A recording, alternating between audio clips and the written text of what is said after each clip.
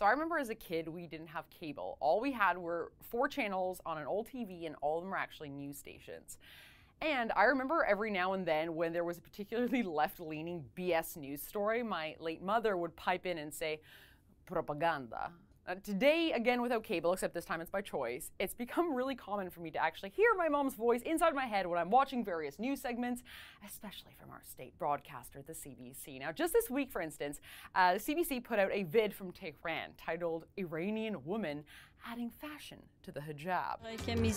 The fashionable scarves are designed to make women look more chic, says Mansoureh Bayat, one of the company's owners. This way, women can keep their hijab and look more attractive at the same time, she says.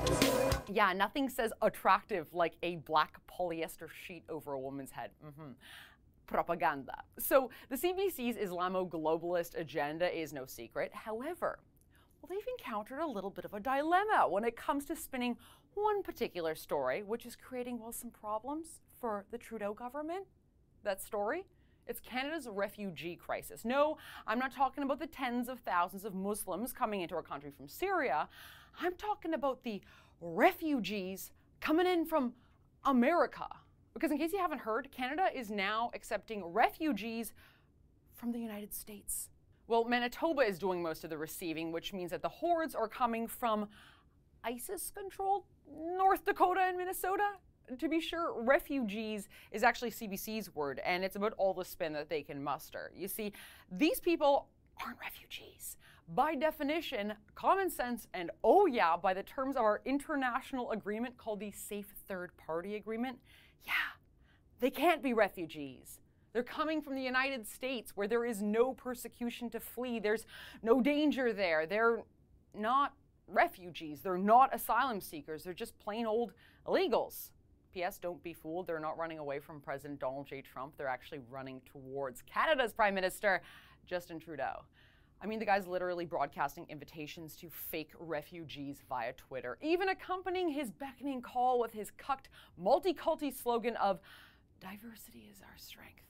Anyway, so a bunch of illegals are now crossing our border with the US, and they're arriving in typical refugee style in buses, in taxis, even in luxury vehicles, bringing no, not just the clothes on their back, but whole suitcases and strollers, which are then carried by our border officers, turned into bellboys once these folks cross into Canada. Now, of course, the CBC doesn't show all this. They just throw around the terms refugee and asylum seeker with nondescript pictures of snowy landscapes and random white people. So, to the reader, the whole refugee thing, well, it seems pretty innocuous.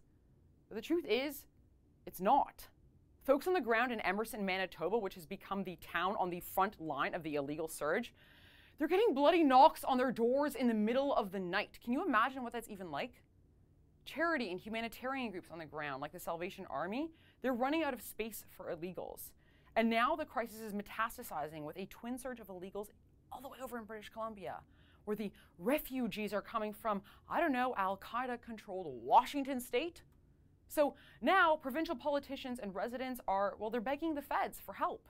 They say that this crisis is getting totally out of hand. They never asked for this mess. They, unlike their uh, prime minister, well, they never sent an invitation out to fake refugees to illegally cross into Canadian soil. So, how have the feds responded? Well, Canada's immigration minister, who, side note, is a refugee himself, yeah, he's not convinced. To hell with what the premier and the residents say. He needs more proof. As for Canada's public safety minister, well, he says, don't sweat it. Because these illegals, well, they were always planning on coming to Canada, so we're good. Yeah, but there's one little snag to the Fed's policy of ignore and evade. The numbers, they speak for themselves. You see, every week the RCMP, it's been releasing the numbers, just how many illegals have been entering our country from the US. Last week, for instance, the RCMP said that 19 people illegally crossed into Emerson, Manitoba alone. Meantime, well over 200 illegals have come to Emerson since the beginning of the year, which, when you think about it, is a little bit crazy. I mean, if 200 illegals have crossed into the border when the average temperatures were between minus 1 and minus 21 degrees Celsius, how many illegals are destined for Manitoba in April, in May, or any of the more forgiving summer months? I mean, if things carry on at this rate, RCMP numbers will get so big the CBC might be forced to use pictures of actual people, illegal hordes crossing the border, not just empty landscapes. I mean, those RCMP numbers, they'll get so big in the coming months, liberal cabinet ministers and heck, the big guy RPM himself might be forced to admit that they've created a crisis. So, hmm, what to do? Oh, what to do? Hey, here's an idea. What if the RCMP just stopped telling people the numbers?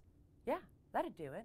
If the RCMP just stopped releasing the numbers, then Canadians, I mean, outside those who have illegals banging on their doors every single night, outside of those people, well, other Canadians, they won't have any idea of how many illegals are crossing into our country. Okay, but I'm not even kidding. Here's an RCMP spokesperson. As of today, the RCMP will no longer be releasing weekly numbers regarding people illegally crossing the border from the United States into Manitoba as we are looking at providing a more consolidated approach. Um, consolidated approach? What does that even mean? I'll tell you what I think it means.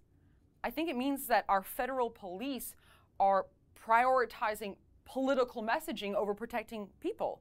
I think that the top brass of the RCMP, guys who, by the way, just got a big fat check from the feds, as their frontliners got absolutely squat, I think that the fat cats at the top of the RCMP are doing their buddies in the government a solid.